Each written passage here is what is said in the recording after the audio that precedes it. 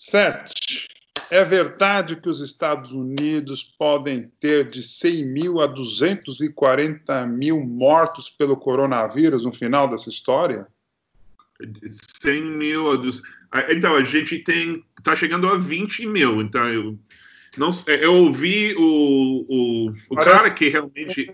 Parece que esse número veio da Casa Branca, é uma projeção. É, não, vem do, do CDC, que é o cara que. Olha, a gente tem um tipo ministro, ministro de saúde, mas ele, ele é meio invisível agora. E quem está, é o chefe, o meio herói da situação, é o doc, Dr. Fauci, que é o, o chefe de Centers for Disease Control, que, que, que em português eu já busquei muitas vezes a tradução, é Centros para Prevenção e Controle de Doenças é uma, um, laboratórios massivos de pesquisa e tudo no, no país é, de saúde pública. E ele está dizendo, foi ele que indicou 100 mil a 250 mil. Agora ele disse que é possível que vai ser 60 mil ou 70 mil. Mas isso só se a gente continuar vigilando, vigilando tudo. E, obviamente, podemos ter várias recaídas, né, como aconteceu com a influenza espanhola em, em, em 1918. Sete. Hoje os Estados Unidos já tem cerca de 16 milhões de desempregados. Uhum. Parece que os Estados Unidos podem chegar a 40 milhões de desempregados rapidamente. Você acredita nesses números? Bom, primeiro, o número de 16 milhões não é os desempregados, são as pessoas desempregadas que já pediu seguro-desemprego. Ou seja, Sim. isso é o número duro, o número correto, porque cada quinta-feira nos Estados Unidos, os 50 estados mandam para Washington o número de pessoas que fez o pedido de seguro-desemprego na semana anterior. Então, sabemos com certeza que tem 16 milhões de novos desempregados.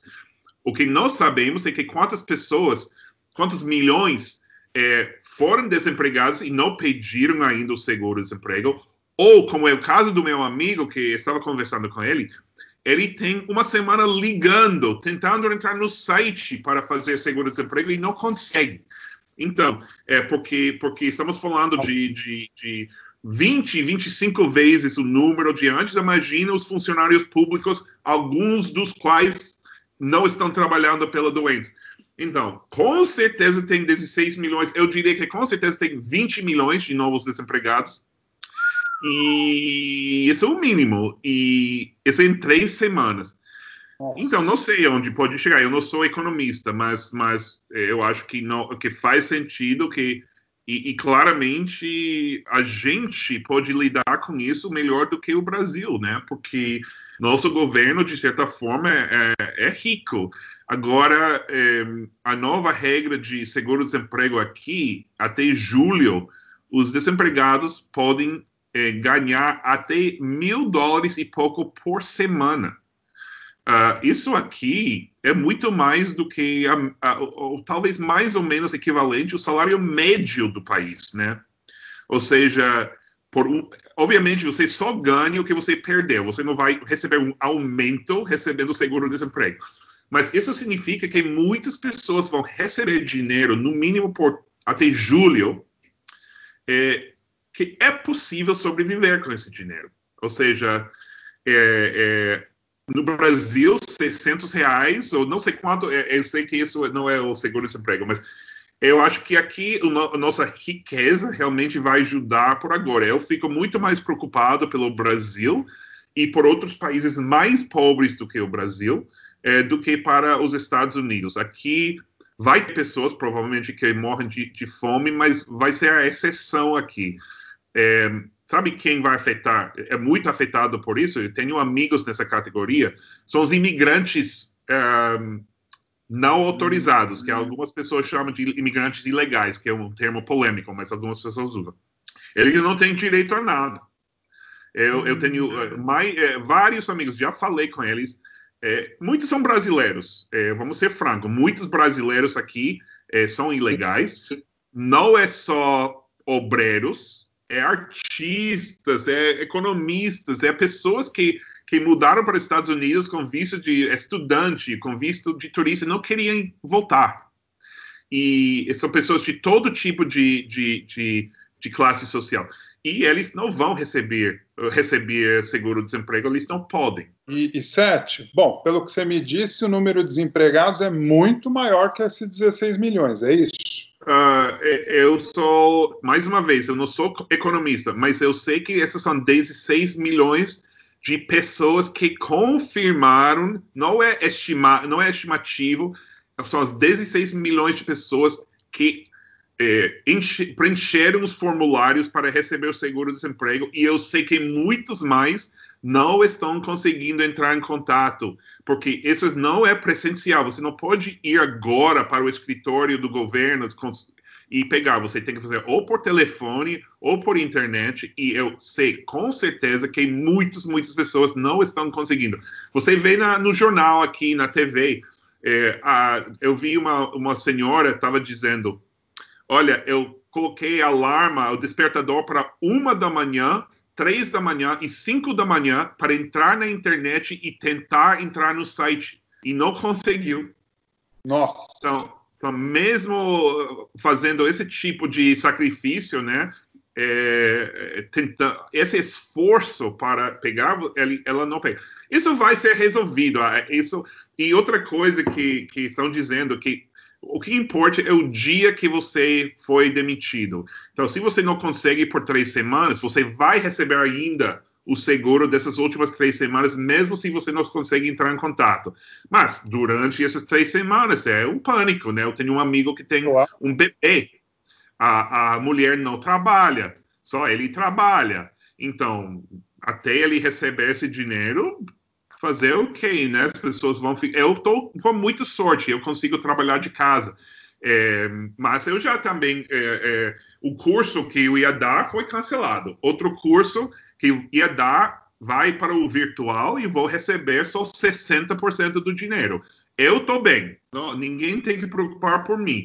Mas se eu estou perdendo essa parte profissional, trabalho em casa, imagina Imagina as outras pessoas. Vamos começar a ver. E, mais uma vez, eu, eu repito, eu espero que não aconteça aqui, eh, no Brasil, o que está acontecendo aqui, porque o Brasil não, não pode lidar com isso tanto quanto a gente. Eu penso, eu penso em favelas, eu, eu penso nas favelas e comunidades que eu visitei quando jornalista no Brasil. Como você vai parar o vírus? Dentro dessas favelas, as pessoas estão morando bem em cima, um em cima do outro. E o cheque de 1.200 dólares que o Trump prometeu já saiu do papel? Não, acho que nisso vocês estão adiantados. Eu acho que algumas pessoas já receberam 600 reais, né? Ou ah. estão começando. É, dizem que talvez semana que vem vai entrar nas pessoas que têm conta no banco. É, mas sabe o que eu pensei quando ouvi isso? Eu pensei, nossa, o governo sabe qual é minha, meu número de conta? Eu não sei. Será que o governo tem a lista de todas as contas do país? É, eu não sei. É possível, mas é, então não sei. É, mas vai, dizem que é a partir da semana que vem. Eu pessoalmente vou doar meu, meus 1.200.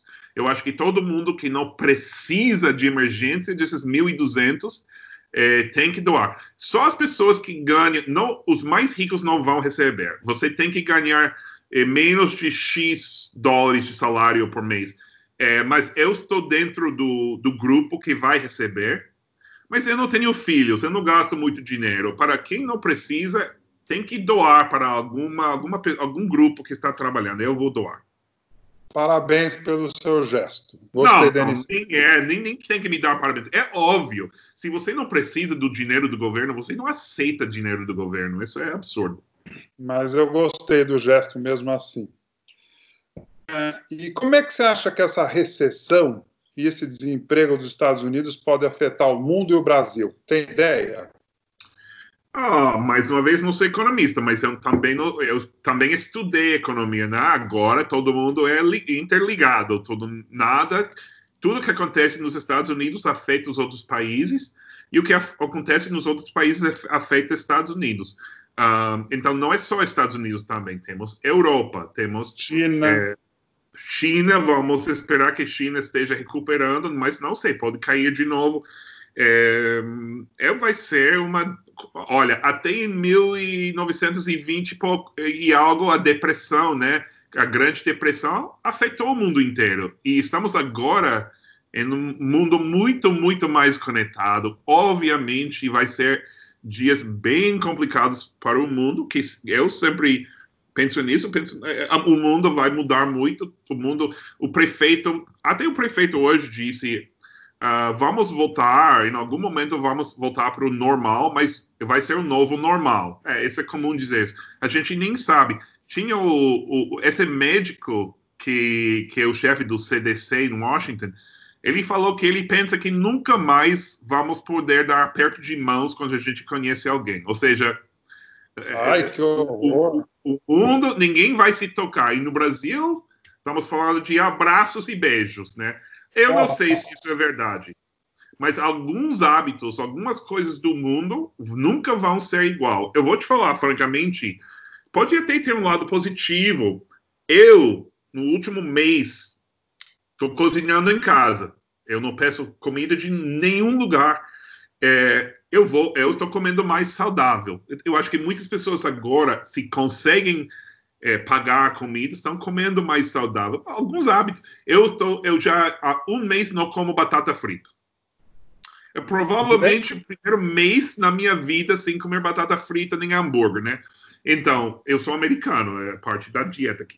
E é, cozinhando em casa. Mas nem comprando um hambúrguer para fritar, uma batata frita para fritar, como é que você consegue? Eu não Estava é meio brincando sobre hambúrguer, eu quase não como hambúrguer. Mas o que estou dizendo é que uh, quando você cozinha em casa, você, você controla o, quantos, quantos gordura você coloca, você é, tudo é mais. Quando você come no restaurante, sempre é mais gorduroso, sempre tem produtos de qualidade inferior, sempre, sei lá. E você você come no restaurante boa, de boa, né?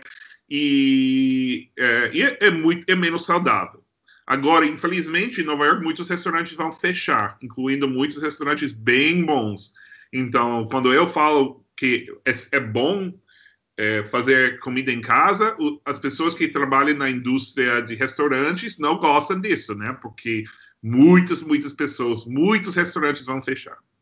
É, já fecharam, alguns já desistiram, né? Me diz uma coisa, como é que está sendo o desempenho do Trump, do Donald Trump, do presidente, para enfrentar o coronavírus aí nos Estados Unidos? Faz uma avaliação para é...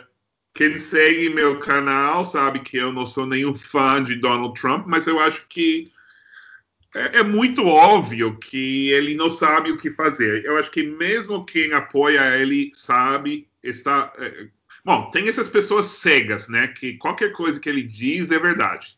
Mas as pessoas que pensam, sabem, ele diz uma coisa, depois o médico Fauci, que eu mencionei, entra no pódio cinco segundos depois e fala o contrário.